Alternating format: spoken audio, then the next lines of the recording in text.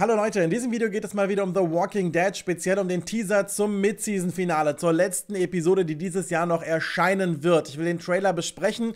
Link dazu ist unten in der Videobeschreibung. Falls ihr den noch nicht gesehen habt, solltet ihr das unbedingt vorher machen, damit ihr versteht, worüber ich hier gleich alles reden werde. Vorab zur Information, ich werde nämlich gleich morgen noch ein Video veröffentlichen über Walking Dead. Da geht es um meine Todeskandidaten für das Mid-Season-Finale, also die Charaktere, die meiner Meinung nach am wahrscheinlichsten sterben werden. Und am Freitag gibt es dann das richtige Spoiler Spoiler-Video, wo ich dann mir erst dann auch die Spoiler zu Gemüte führen werde und dann halt auch ein Video dazu mache, was wird passieren im Mid-Season-Finale für diejenigen, die das interessiert. Damit du die Videos nicht verpasst, solltest du den Kanal abonnieren und die Glocke daneben für Benachrichtigungen aktivieren. Auf die Art bekommt ihr dann auch immer eine Mitteilung, wenn es denn soweit ist. Also, was hat uns der Trailer alles verraten? Wo stehen wir eigentlich? Was ist so die Ausgangssituation? Reden wir noch mal ganz kurz darüber. Im Moment ist Rick Grimes jetzt beim Sanctuary angekommen und stellt fest, oh shit, alle Beißer sind weg. Der Teaser zeigt uns hier, wie er noch mit Jadis und Co. unterwegs ist. Genau dort. Waffen sind natürlich schon ein bisschen äh, angehoben und man ist bereit und plötzlich werden sie beschossen. Sie gehen in Deckung, mehr sehen wir an dieser Stelle nicht. Was ich hervorheben möchte, ist, es ist noch Tag. Also hier wird genau dort weitergemacht, wo wir in der letzten Folge aufgehört haben haben. Gleichzeitig sehen wir immer noch am Tag, das sind die einzigen beiden Szenen, die wir am Tag sehen im Teaser, wie Michonne und Daryl sich unterhalten. Daryl noch sehr, sehr hochnäsig und arrogant, es ist geschafft, wir haben es äh, gepackt. Jetzt gehen wir da nur noch hin und ja, verlangen, dass sie eben aufgeben, dass sie sich ergeben werden. Das ist ja generell schon der Plan gewesen. Warum musste er aber jetzt unbedingt dort natürlich jetzt den Eingang, diesen Eingang schaffen für die Beißer? Warum musste er das Ganze so provozieren? Denn der eigentliche Plan hat so ausgesehen, dass man die dort aushungern lassen wollte, dass es den Leuten immer schlechter geht, dass sie ins Schwitzen kommen und sich dann eben nochmal überlegen, jetzt Negan endgültig auszuhändigen. Das war zumindest der Plan, denn man hatte ja vor, durch die ähm, Beseitigung der Außenposten, dass sie eben keine Lieferung mehr bekommen, dass sie keine, kein, kein Essen mehr bekommen und so weiter, dass ihre Vorräte alle gehen. Natürlich können dort noch außerhalb des Sanctuaries rein theoretisch noch Leute unterwegs sein. Ich bin der Meinung, die meisten haben sie jetzt beseitigt. Ich will nochmal daran erinnern, wir haben drei Außenposten gehabt, die wurden alle bekämpft. Letzten Endes wurden alle platt gemacht, die dort waren. Und die beiden Personen, die beiden Saviors, denen äh, dann Rosita und Michonne in diesem Lagerhaus begegnet sind, das dann von Daryl gerettet wurde, sag ich mal, mit dieser Fat Lady, also mit dem Wagen mit den vielen Lautsprechern. Die beiden, die waren draußen selber irgendwie beim Plündern unterwegs, die waren auf der Jagd und deswegen waren dort noch welche außen. Es könnten noch mehr so unterwegs und draußen sein und vielleicht das Sanctuary gesehen haben und hier helfen. Das zumindest ist der Verdacht von Jesus und Maggie. Die beiden sehen wir auch in der kommenden Folge. Man sieht zunächst eine, eine, eine Gruppe von Wagen, eine kleine Kolonne, aber das waren alle mit so einer Seitenverkleidung, wie wir sie aus der ersten Episode kennen. Und das heißt, es geht natürlich hier um die Gruppe von Maggie und Jesus, beziehungsweise um die Hilltopper, die vermutlich auf dem Weg nach Alexandria sind. Davon ist auszugehen, doch die Straße wird blockiert. Sehr, sehr typisches Verhalten für die Saviors Negans Gruppe ist das schon gewohnt und geübt. Die Frage ist, werden die hier sich an dieser Stelle dann begegnen? Ja, wird das dazu kommen, dass man denen hier schon gegenübersteht? Gibt es hier eine Gruppe von von Saviors, die dann wieder anfängt, aus den Gebüschen rauszukriechen und zu pfeifen und dann in ihre Gewalt zu nehmen. Das bleibt ein bisschen offen. Außerdem haben wir dann noch Enid und Aaron. Die beiden waren unterwegs, haben sich aus Hilltop heimlich verabschiedet. Keiner weiß, wohin so genau. Und das, was wir jetzt hier im Teaser zu sehen bekommen, ist, dass sie irgendwie sich in dem Wagen recht ruhig verhalten wollen, denn irgendjemand, eine sehr, sehr dunkle Gestalt, beziehungsweise durch den Schatten, nicht zu erkennende Gestalt, da tritt irgendwie hervor an einem LKW, aber wir wissen immer noch nicht, wer das ist. Erste Theorie war von irgendjemandem in meiner Zuschauer, das könnte ja Heath sein theoretisch möglich. Ich erwarte nicht, dass er jetzt so plump da irgendwie wieder reinkommt, aber ich bin gespannt, denn ich wüsste echt gern, wohin waren die beiden unterwegs, was haben sie vor, um ihren Sieg sicherzustellen. Das ist leider offen gelassen worden, bleibt aber eben halt äh, jetzt dann zu erwarten. Ich bin sehr, sehr gespannt, wem sie dort begegnen, weil es sieht ein bisschen spannend aus. Carol war ein bisschen am Rennen im Teaser, habe ich jetzt gesehen, die war aber schon in Alexandria.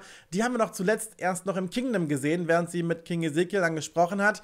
Kleine Info vorab, könnt ihr im Teaser nicht sehen, es gibt ein Promobild von King Ezekiel, nochmal erneut an seinem Thron mit der Kette von Shiva, dort liegen kauernd sitzend, ne? Und äh, dem geht's immer noch schlecht. Das heißt, ich denke, wir werden diese Szene vielleicht nochmal sehen in der kommenden Folge, nur hoffentlich schafft sie es, ihn zu animieren, eben mitzukommen, in den Krieg zu ziehen. Ansonsten ist sie selbstverständlich hier alleine unterwegs, ob sie jetzt Jerry mitnimmt oder nicht. Also wenn Ezekiel nicht mitkommt, wird Jerry, glaube ich, auch im Kingdom bleiben. Schade eigentlich. Den habe ich immer so gern. Trotzdem wird Carol unterwegs nach Alexandria sein sein und die wird es wenigstens schaffen, so viel weiß ich. Ansonsten haben wir hier noch die Szene von Daryl mit Rosita an seiner Seite. Die beiden werfen hier eine Art Feuerwerkskörper auf die Straße.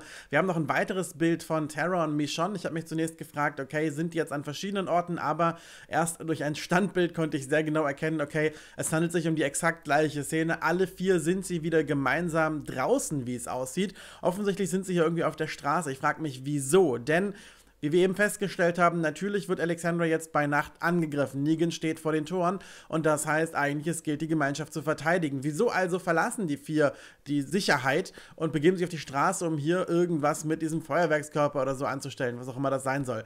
Da bin ich äh, gespannt drauf. Dennoch, der große Punkt natürlich in diesem Teaser ist Negan und sein ganz freundliches Anklopfen an die Tore von Alexandria und der Warnung, ihr habt genau drei Minuten Zeit, dann öffnet ihr mir die Tore und äh, ansonsten wird es hier erstmal ganz schnell jemanden erwischen, irgendjemanden.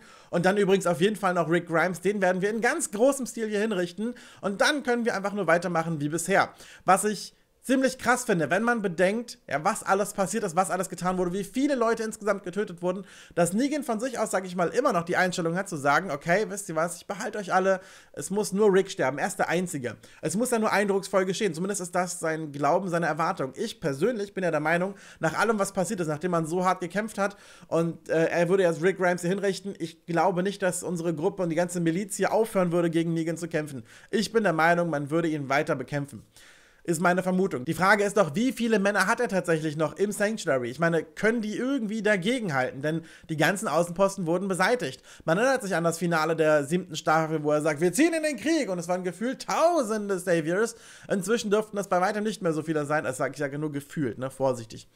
Jedenfalls bleibt es spannend, wie das Mid-Season-Finale hier aussieht. Und ehrlich gesagt, ich bin schon sehr, sehr gespannt. Ich habe meine Ideen und meine Theorien, wer alles sterben könnte und wieso, weshalb, warum.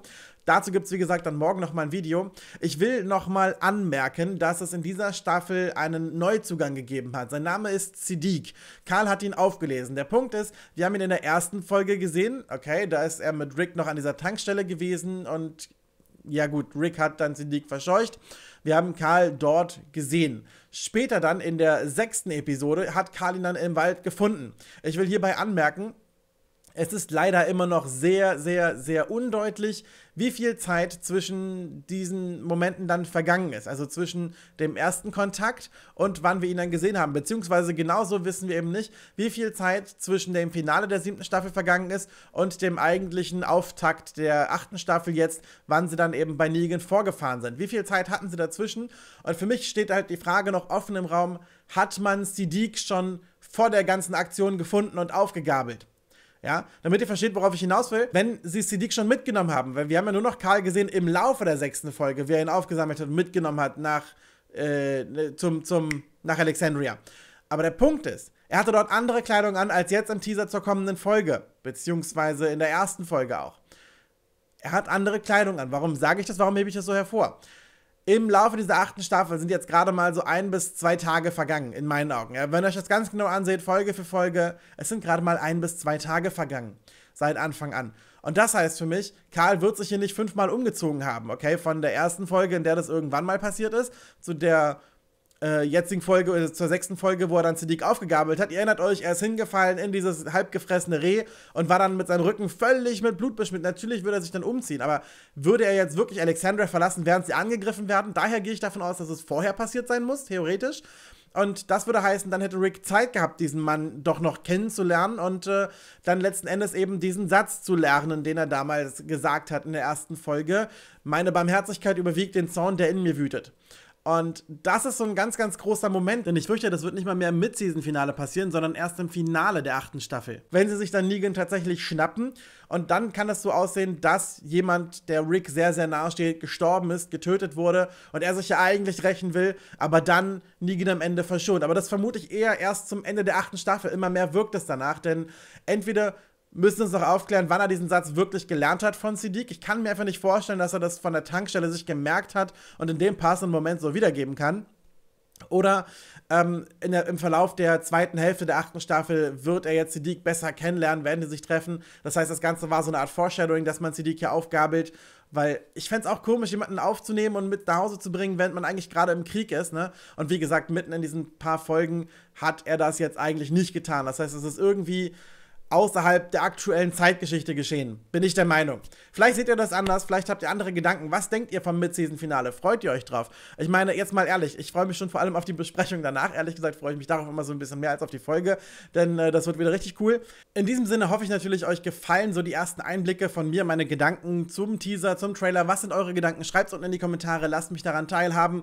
Ich äh, hoffe, wir sehen uns dann spätestens morgen im nächsten Video. Ansonsten natürlich dann am Montag zur Review bzw. zur Live-Besprechung abends um 22 Uhr. Seid mit dabei, nichts verpassen. Ich danke euch fürs Zuschauen. Man sieht sich, macht's gut.